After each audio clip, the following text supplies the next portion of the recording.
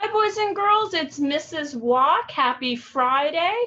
It's May 29th, and hard to believe this is your last activity for social studies.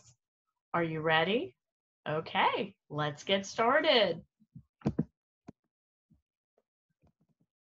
So what I want to talk to you today about is how to have a safer summer vacation. First, you need to be sun smart. Doctors recommend that all children wear a sunscreen with an SPF of 30 or higher. Always wear your sunglasses in the bright sun and make sure they have a label saying that they block UV rays. Wear a hat with a wide brim to shade your face, your head, your ears, and your neck. Wear loose fitting, lightweight, lightly colored clothing. Seek shade when the sun is at its strongest, and that's usually between 10 in the morning until 2 in the afternoon. Rest breaks help your body recover. Resting in the shade or air conditioning helps you cool down. Next, you need to be water wise. What do I mean by that? Well, drink plenty of water before, during, and after play. Don't wait until you feel thirsty. And always remember to wear an appropriately sized U.S. Coast Guard approved life jacket when you are in a boat near open bodies of water or participating in water sports. Swim safe. Use the buddy system when you go swimming. Always make sure a trusted adult is watching. Avoid pipes, drains, and other openings in pools. There's often dangerous high suction in these areas. And no running. You could slip or trip hurting yourself or someone else. Stay out of the water during a thunderstorm. Remember, water conducts electricity. Okay, ready, click, go. Wear your helmet every time you get on anything with wheels.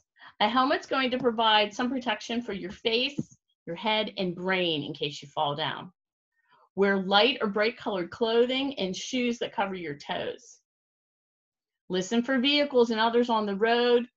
Leave your headphones or earbuds at home. Check your tires for air before each ride. Make sure your brakes work properly. You want to be safe out there. Okay, everyone loves a good barbecue, but remember, stay at least three feet away from a grill or a fire to avoid burns. And you want to get out and enjoy the great outdoors. So when you're playing, hiking, or camping, protect yourself from mosquitoes and ticks by using insect and tick repellent. Do a tick check after you're coming in from outside activities. Now remember, the poison ivy plant has three leaves on one stem.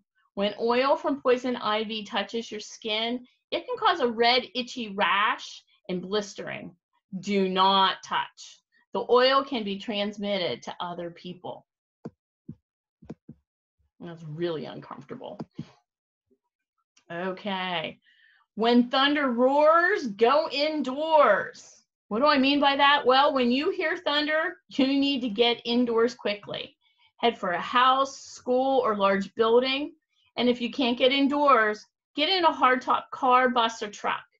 Stay off of phones, computers, and video games. Never, never go under a tree. You want to use your brain don't wait for rain. Lightning can hurt you even before it rains. Well, that's going to do it for my summer safety tips. I want you to talk to someone in your family about how you're going to stay safe this summer. And remember, summer plus safety equals fun.